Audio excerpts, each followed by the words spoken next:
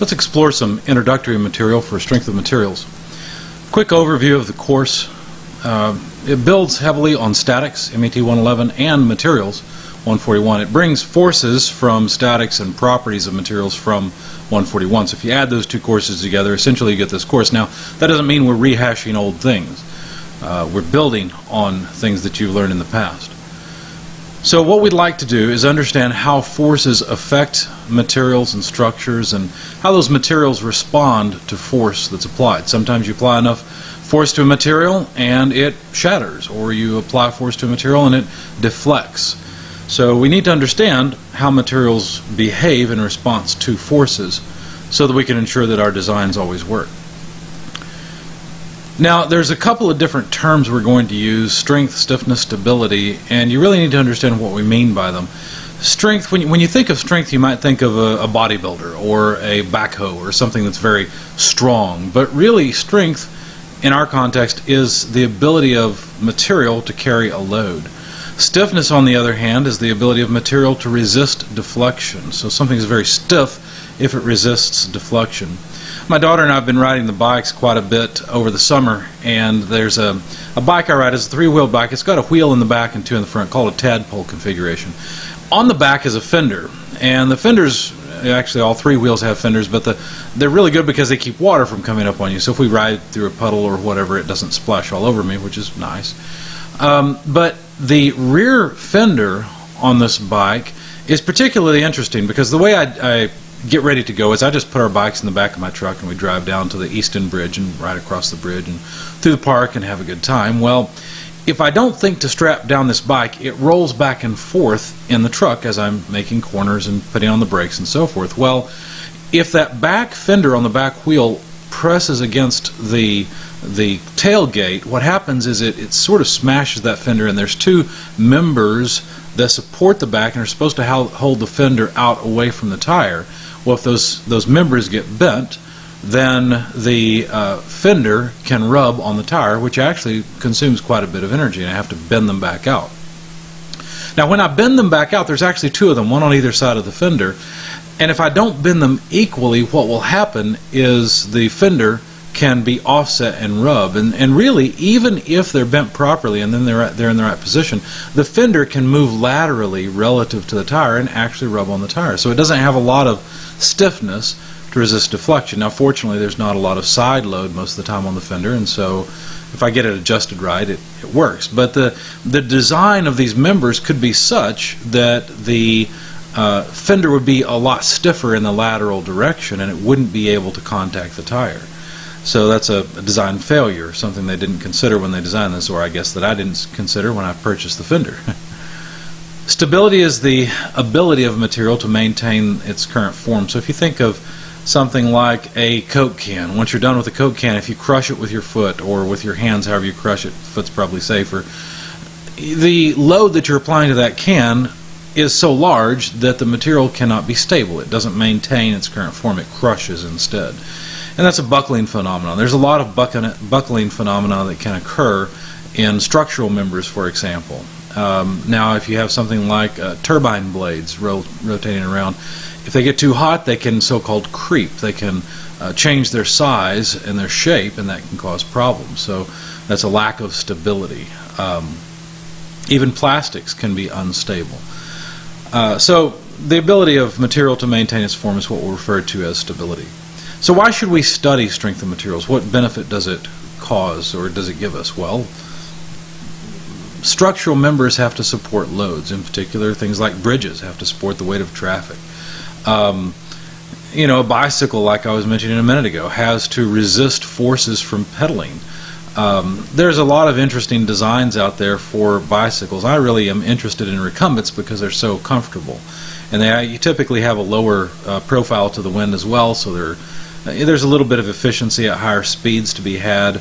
Um, also because of the way that you lay back and your back is against a seat, you can push with your legs and get more of a leg, leg workout rather than just pushing against your weight on a, a typical bike. Uh, but there's an interesting design called a tripendo. If you get the chance, look it up. It's a, a bike that actually leans into the corner. So it's it's got two wheels in front one in the back, a tadpole design, as I've mentioned. And as you turn the, I don't remember what it has, a yoke or what it is to, to steer, but as you turn it, the entire bike leans. And so you can corner better in these things. The interesting thing about this bike is that the body is made out of a uh, I don't know if it's a carbon fiber or fiberglass or what, but it's not just a regular steel frame. And it's really interesting because the frame has to be designed such that it resists the forces from pedaling. You don't want the whole frame to wobble and twist. Uh, so, uh, you know, there's plenty of examples where the strength of the materials are critical in their application. What else is there about strength of materials? Well, anything we design has to support the loads applied to it, and a lot of times our structures are designed to transfer load from one point to another. So that's a, a reason for studying it. Obviously, we want to make sure that designs don't have excessive deflection uh, or other failure modes. Sometimes you design so that the, the elements fail at a particular load. That is another option, uh, but that's less common.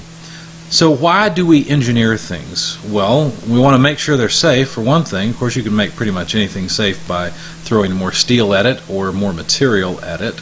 Uh, you could make a drive shaft out of butter if you had enough butter. The problem is that it's not practical. So a lot of times you have to engineer things just to make them work.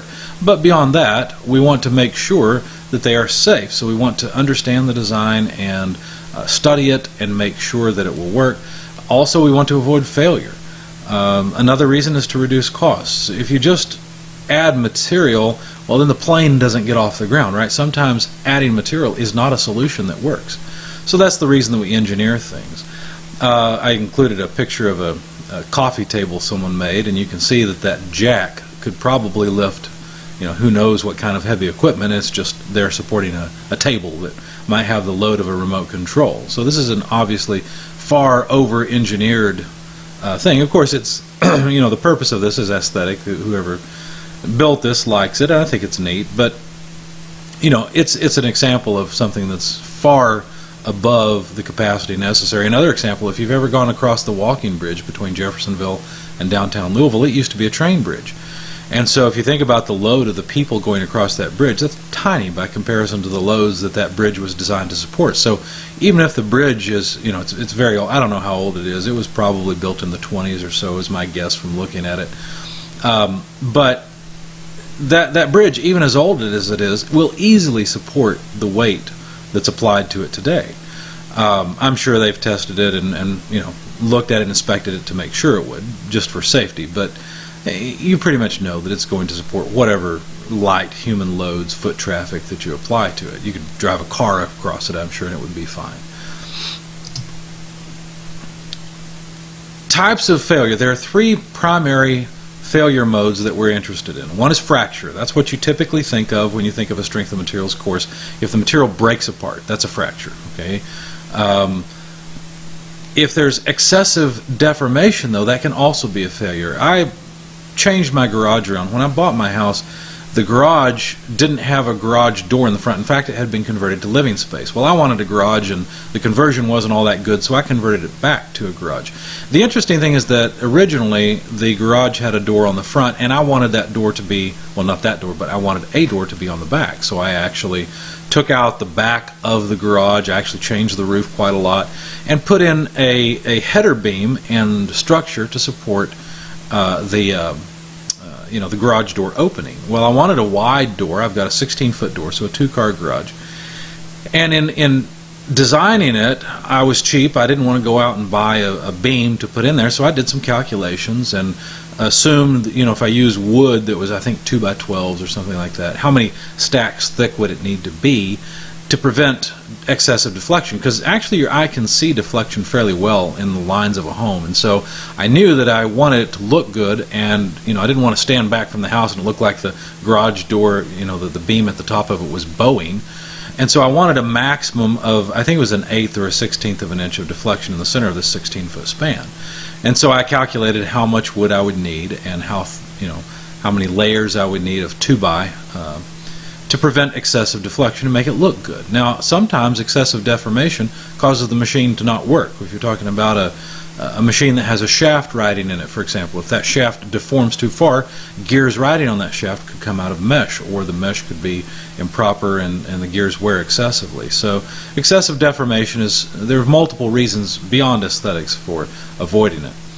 Um,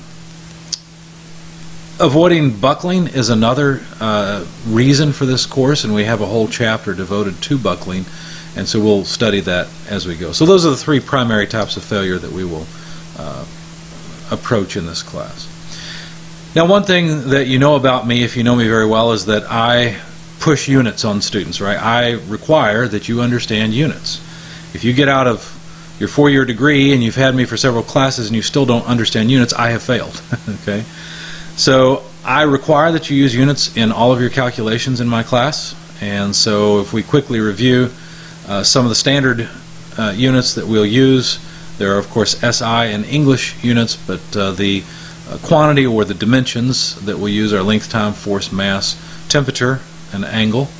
Uh, SI units are um, meters, seconds, newtons, kilograms. You can read them there. Kelvin, degrees Celsius, of course, radians, degrees. And in English units, you'll see things like feet, seconds, pounds, slugs for mass or pounds mass, degrees Fahrenheit, uh, Rankine, uh, degrees for angles or radians uh, are also used. So the really the only common unit between these are the time units. Other than that, there's a different unit for length, force, mass, you know, temperature, and angle. Although the angle, uh, really they're the same. It's just it depends on which one's more common. So um, there are other units as well, and there are some handy conversion factors I'll point out as we go along, but make sure you use units in all your calculations and all your work. Something really quick that students commonly are confused about is the difference between weight and mass. Weight and mass are two different things. You cannot take a slug of mass and calculate slugs of force. There's no such thing. You can't take a gram of mass and calculate a gram force. Yeah, okay, there's a kilogram force, but that's sort of a uh, taking the SI units in the wrong way, in my opinion, but it's it's a thing. So, but my point is, there's a difference between the dimension of mass and the dimension of force, which weight is in the dimension of force. So weight is a force. It's a very particular type of force. It's a force that's generated by gravity. So uh, just gravitational acceleration between two masses. If you want to calculate the magnitude of the weight, you have to multiply the mass of the object by the acceleration of gravity. And of course, you know those two numbers. They're probably in your memory by now, but if not, there they are. There's one, the acceleration for, uh, or gravitational acceleration for SI units and for English units. The goals we have for the things we design and make is that they be safe, strong, inexpensive. That's really what we're doing. So the more material you put on a design, the more it's going to cost to make. Now, usually material costs are not the primary cost of any product. Uh, some it's true that it is, but in many designed things, especially consumer products, the material is not the major portion of cost. You would be very surprised how low the value is of all the materials that go into your car. I don't remember right off what it is, but it's some very small fraction of the purchase price. And looking at that, you might say, well, we're being ripped off with cars. Well, maybe so, but on the other hand, the value of the car is the configuration of those materials and the design of those components so that they, uh, you know, achieve their intended function. Um, now there are times when engineers take too much material away. I have a table saw, and I'll probably hear me complain about this more than once, but it's got a fence on it. The fence is what you know you you put across the table saw in order to guide material through the blade. So that's where you set your width and, and so forth. Well, the back side of this thing uh, has a moving arm that's supposed to clamp on the rail. And when you put you push down a handle on the front, it's supposed to clamp in the back. And that, that clamp is a, an arm that pivots on a pin, and the pin is in a plastic molded piece. So guess which part broke? Obviously the plastic molded piece. And, and so you just imagine a pin in a, a couple pieces of plastic if they had simply added more plastic material around that and made the, the support around the pin thicker, it wouldn't have broken. Or at least it would have taken a whole lot more load to break. So there are many times when people try to minimize costs of things by removing material when it's not really necessary. A few more pennies worth or you know, fractions of a penny's worth of plastic would have easily prevented the failure mode that I experienced. Uh, but anyway, so we want our items to be inexpensive, and minimizing material can be uh, one way. Think of the Titanic. Uh, think of the material that goes into the Titanic or any cruise ship. Anytime you have a very large product, uh, cutting material out is important in order to minimize cost. Of course, obviously, uh, the Titanic, too, too much material was taken out, or the wrong material was used because it's there was a catastrophic failure. Now, sometimes designs can only take so much. I mean, if you take a huge ship and you go full steam ahead and just literally ram it into an iceberg, some ships are designed to take that, but many are not. Uh, I don't know if you know this, but cruise ships today actually are larger than the Titanic, and yet you don't commonly hear about one of those going down. But anyway, I think our engineering has gotten better today, probably since then. We understand more about materials. We have newer, better materials available for making things. I'm not saying the engineers back at that time were incompetent. There are problems today. There are plenty of failures. There was the, the bridge on college campus in Florida. I can't remember which one it was. You probably remember that in the last couple of years that, that failed tragically and ended up killing some people. Um, so we're, we're trying to make things that are safe, they're strong, and they're inexpensive. So studying this course will hopefully help you understand materials better and in particular understand stress better so that you can design things better or at least fix things that are poorly designed and improve designs. Now, as I said, this course does build on statics, but there were some problems with statics. There were some assumptions built into it that really are not true. One of the things that statics assumes is that all materials are rigid. They don't deflect at all, except for maybe a spring. In reality, all materials are flexible to some extent. I uh, built a, a uh, mantel for my fireplace. I cut a hole in the side of my house and built a chimney and put a fireplace in because I wanted one. And it's it's kind of nice. It's a gas log now, and I actually bought the uh, valve and figured out what to do to uh, have a switch on the side where I can just flip a switch and the, the valve automatically controls the uh, gas coming out the propane into the, the gas log. I think I paid, I don't know, I probably got a thousand dollars or so in the whole thing, including the, the insert, the gas log, everything, the valve. And if you look at gas logs themselves and you try to buy one, a lot of times, you know, a setup like this is easily five, you know, six, seven thousand dollars, depending on what you get. So I've got a very low cost but very nice system because, of course, I can figure these things out and understand them and make them safe.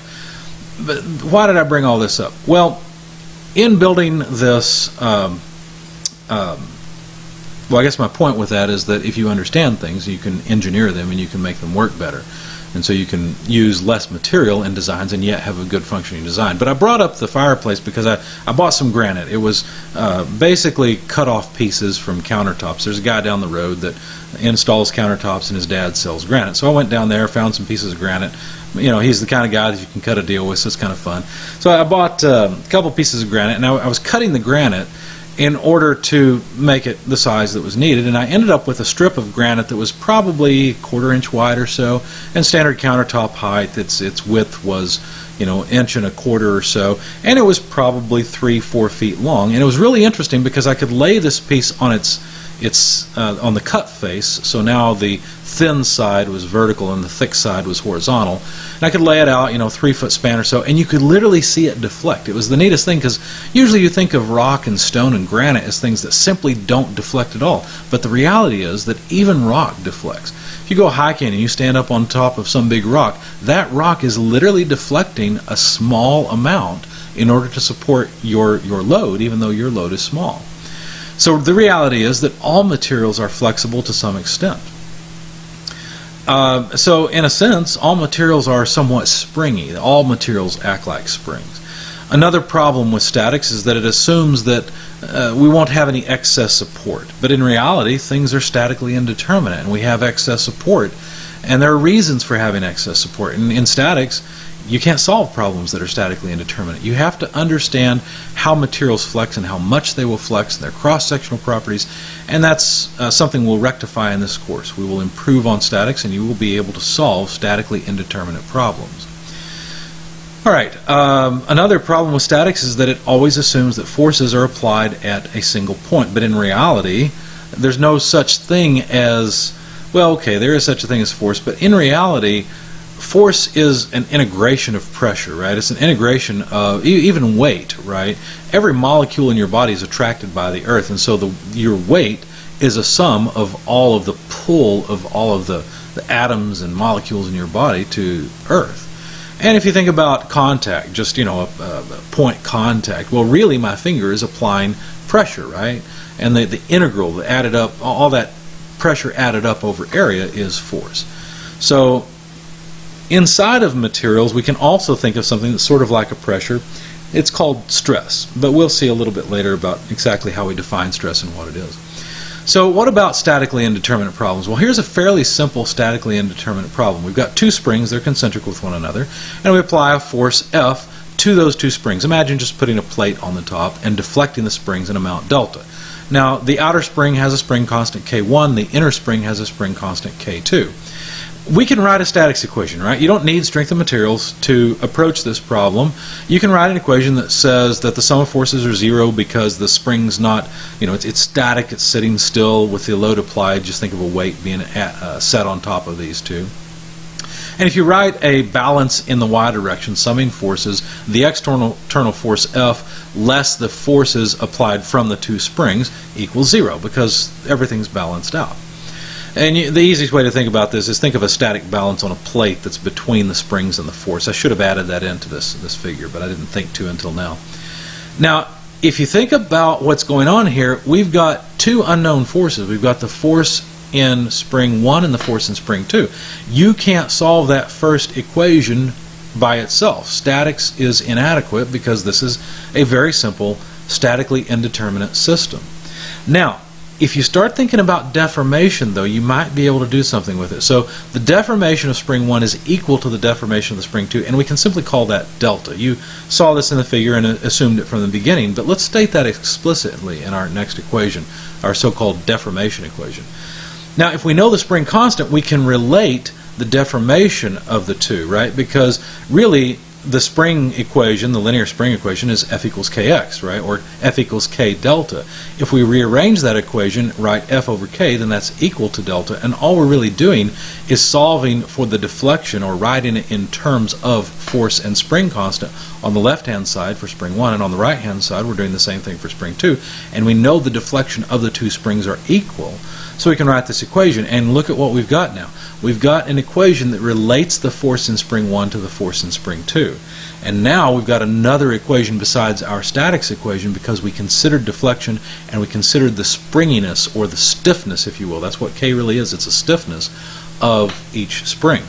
Now if we substitute these, this equation into the equilibrium equation, now we can solve for, say, F2 or F1 in terms of the externally applied force F. And this, from a high level uh, view, is basically the approach we take in strength of materials in order to solve statically indeterminate problems. But understand, you have to know the uh, spring constant, the effective spring constant of the material in order to do this, and you have to deal with deflection. Now, further, there are some ideas from statics that I want to expound on. I want to take them a little bit further. You've solved a problem like this in statics, I'm sure. And think for a moment what's the first step in solving this problem? Well, you should know that it is to draw a free body diagram of the whole truss system and solve for the reaction forces. Okay, you see a pinned uh, point on the left, you see a rolling point on the right, uh, so we've got a, a, a uh, fixed free, uh, you probably wouldn't call it fixed free, I don't know what terminology you would use, but a, a pinned uh, side and a roller side. But you would solve, first of all, for the reaction. So if you do that, you'd end up transforming the problem into something like this. So these are the, the correct uh, reactions at the supports. And of course, we're assuming there's no horizontal force in this case. I'm not trying to go to something statically indeterminate anymore. So we've got this truss and we've got the, the reactions. Well, could we go a step further? Sure, you always do, right? You want to get the forces within the members, and so what do you do? Well, you imagine cutting the members, and you use either the method of sections or the method of pins. I'm showing you the method of sections because I've, I've got a point here.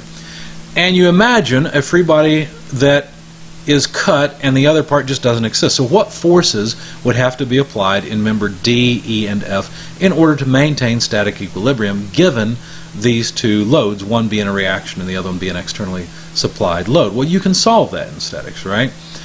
Well, that's great, but did you ever think when you were working these kinds of problems in statics, did you ever think, wait a second, how often in the real world are there two force members? I mean, because any of these members are going to have weight, and that weight acts in the negative y direction. And so that's a load that is transverse. How can any member really be a two-force member? Well, you're right. You probably got to the point in statics where you thought, okay, I'm, I'm just going to solve the problems, get through the course, and be done. But you probably thought what I'm suggesting at one point, and you were right. There can be other forces within the member besides an axial force. And to have a two-force member, the only force you can have within that member is an axial force that that uh, points from one pin to the other. In reality, structures are more like this, where if you have uh, a uh, this is a very simple beam here. It's just a sort of an A shape without a support in the, the center. There's rollers on the left and a pin on the right. Uh, but if you think about what's going on here, not only could there be forces F1 and F2, which are axial forces that are that you are used to dealing with from statics, there could also be a moment, okay, or a twist within the beam.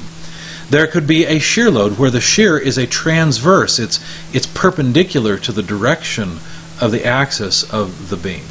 So in this class, it turns out that all of the loads, the forces and the moments within the beam, can be written in terms of these three an axial load, uh, which is, uh, uh, well, an axial load, a moment load, and a shear uh, force. So all of these things uh, can represent any load situation we have within a, uh, a beam. And you may have even written shear or, or solved shear and moment problems before now, but we're going to do that again and then use that information in our, our class. So what about the relationship between force, pressure, and area? Well, force is mass times acceleration, of course, so that's what pulls down on this, this dancer's body, and that has to be supported somehow, right? So here I've shown the first, uh, second, and third positions, I believe they're called. Uh, but, you know, going from a, a beginner ballet, uh, uh ballet uh, practitioner all the way up to advanced, where the first position the student has both feet firmly on the ground. In this case, the force or the, the weight of the, the person is supported on a relatively large uh, area. So you see if the, the person is 500 newtons, then they've got you know a foot area of about 325 square centimeters, and that's one and a half newtons per square centimeter. That's the pressure applied to the bottom of the feet. The next position, you see the, the dancers up on their toes. And so it's just the tip of the toes that are supporting. And there's there's two feet though. It's a lot less area now though, and this is a much more difficult position because of that. I certainly wouldn't want to try it myself. I'm no ballet practitioner. I couldn't do it. I, you know, it's, it's funny. I never really was interested in ballet, and then I went and saw the Nutcracker. And maybe it's a weird way to think of it, but as I watched them dance around, I wasn't so much thinking about the art. I was just impressed at the sheer athleticism of the the um, the dancers, and also I was amazed at the choreography and how nobody was running into anyone. I mean, maybe that's kind of funny to think of, but I was just like, oh my goodness, there's you know 20, 30, 40, 50 people out there dancing. It looks like, and they're all flying around and you know moving quickly and spinning. And I thought, wow, how do they not just crash into each other? There must be some crashing along the way in practice. I can't imagine what that would be like. But I actually appreciate ballet, maybe for the wrong reasons, but I'm just impressed at the athleticism and the fact that they can, you know, uh, do this together in a dance that works and looks beautiful. So, anyway, uh, that's my little uh, ballet. I haven't been to many. I also went and saw Scheherazade mainly because a coworker of mine gave me tickets, and I'm I'm cheap. I don't like paying for these things, but maybe I should get into ballet. It's it's pretty impressive what people can do with their bodies, not just in ballet but in other areas. Human beings are just amazing to me. Anyway, so uh, the area of contact in the second position is much less than before, but let's just assume that the weight remains about the same, and so they still we still have 500 newtons that has to be supported by the floor, but now it's over a much smaller area, and so the the pressure in the, the toes is much higher than the pressure is in the bottom of the feet from the first position. So once the uh, practitioner is able to stand on one foot in the final picture here, that's very impressive. That's uh, half the area of standing on two tiptoes. Uh, and so the, now the, the stress and the force in the toe is much, much larger. So that's a hopefully a helpful illustration of the differences between force and pressure. Now, there is a relationship between force and stress. Imagine that you've got a member, it's shown on the left there, and there's force applied at either end in an attempt to pull the, the member apart. Now, we're going to go ahead and imagine cutting the member, at least in our minds, so that we can make free body diagrams of the upper and lower portions of this member. This is a simple two-force member with a force axial uh, on the member. And there must be some internal force. It's kind of like two hands coupled together holding this thing in the center, right? The, the material has to hold to to itself, right? The, the two halves have to be bonded together somehow. And of course, we're imagining this, so it's probably all just one uh, homogeneous you know, member. But if you think about what's going on, the force that's applied here would be distributed over the area, especially if you think about applying a force to a point at the top and at the bottom. Eventually, that force is going to somehow spread out. I mean, I wouldn't think of this as just uh, you know, a thin wire being pulled through this large cross section. Eventually, the force would be spread out and carried by all of the material. In that case, we could uh, talk about stress, and, and the stress, uh, sorry, I thought I had one more equation there, but the, the stress would be a force per area, kind of like pressure before. So there's a, a, a very good similarity between uh, pressure and stress. They're similar things. They're force per area. In this case, it's a normal stress, but you'll see why that is a little bit later. Now, stress is something that you may or may not know um, relates to stretching. So, if you take material and you stretch it, there will be more stress in the material. As a matter of fact, that's how members carry load, they stretch. And as they stretch, they generate stress, and that stress then counteracts the, the force and supports whatever load needs to be supported. So there's this constant relationship between stretching, which is called strain, and the uh, stress within the material. Now, if the stress goes too high, what happens is the material fails. And so there are many ways of measuring how much stretch there is in a given material or a given uh, member. Uh, one way to do this is with photoelastic uh, materials that you can can look at with special equipment. In particular, uh, you're looking at more of the uh, polarized light and how the material behaves. There are also strain gauges, and maybe you've used strain gauges before, but basically a strain gauge, you can see one in the lower left photo uh, or, or drawing. The, the strain gauge is just a resistor that's variable, and as you stretch it, the, the traces move apart a little bit and the resistance increases. You can then take this strain gauge and put it into a, what's called a Wheatstone bridge. It's a, a four resistor, well, really more than that. Technically, it's six resistors, including the gauge.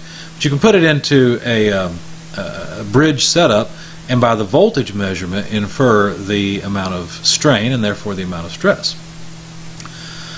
Um, now the photoelastic coatings that you can put on things are really interesting. Again, you have to look at these with polarized lenses or polarized light in order to see what's going on, but these coatings can either be uh, sort of shrunk onto or, or pasted onto uh, materials, and you look at some of these these parts, and they're very complicated, and so you know, in this course, you wouldn't be able to, even when you're done, calculate the stress in a complicated uh, material or, or part like this. Uh, it would be much better to just apply photoelastic coating and look for regions of very large stress when the machine is in operation.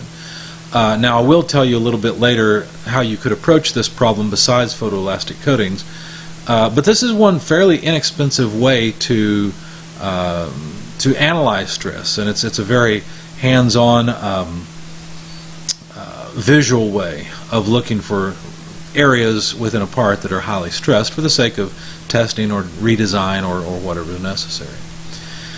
Another way to do this is with finite element analysis. So you take the uh, fairly complicated part, you put into CAD, and in CAD, the, the system calculates uh, you know, deflection. Basically, you, you, make what's called a mesh of the, the part. You can see a mesh of a, a human uh, uh, joint there on the right.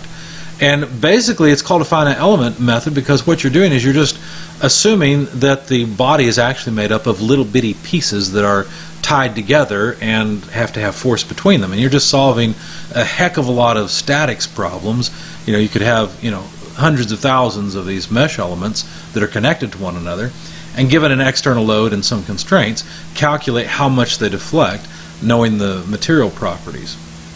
And this is a really good way of uh, estimating or, or, locating areas that are going to be highly stressed and estimating a value of the stress in that area. Uh, I have used finite element analysis. It is included in SolidWorks. I'm not going to talk to you much about it. In fact, I don't even intend to use it. There is another course after this, I believe it's MET 411 that Professor Dews teaches, where you can learn more about finite element analysis. I highly recommend it. And, and the reason I included this slide, I want to tell you a little bit about this course.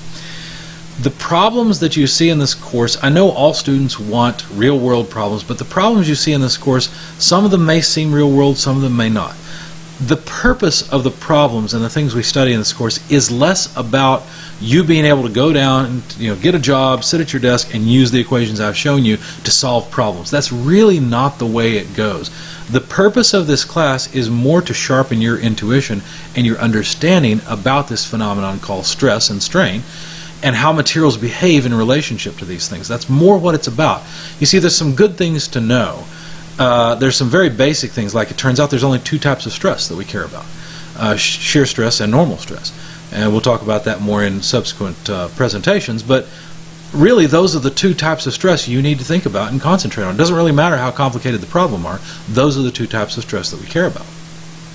There are some overarching themes, like for example, uh, fatigue failure. Fatiguing material causes material to fail, especially where cracks can propagate. And so that's something you need to know and understand and look out for. And figuring out that something has failed by fatigue is actually relatively straightforward. It's in some cases are difficult, but a lot of times you can tell that a, a, failure is a fatigue type failure, especially if you understand the application of the components or of the machine. Um, so I've used finite element analysis. I took a course in it when I was studying. I used it when I worked for Amatrol. There was a particular part I designed that uh, everyone was concerned about, but I you know figured out the finite element analysis software in SolidWorks already had the, the particular parts drawn up and I analyzed what would happen.